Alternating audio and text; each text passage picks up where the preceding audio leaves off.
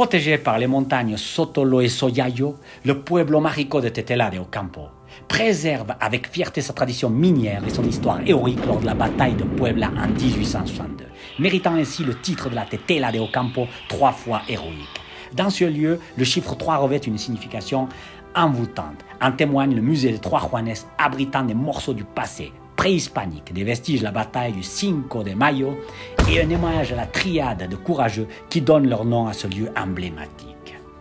Le cœur de Tetela bat au rythme de son centre historique. La place de la Constitution, véritable étoile des festivités qui anime son esplanade, est entourée par le majestueux palais municipal orné de fresques évoquant la bataille du 5 et par le remarquable hémicycle dédié aux trois Juanes. L'église de Santa Maria de l'Assomption rayonne avec ses murs jaunes, son clocher imposant et ses vastes voûtes. L'artiste plasticien Rafael Bonilla Cortés laisse en héritage des œuvres et la Casa Museo Tlalpalcali pleine de sculptures, de reliefs, de paysages, de portraits et de scènes quotidiennes de la vie rurale à Tetela.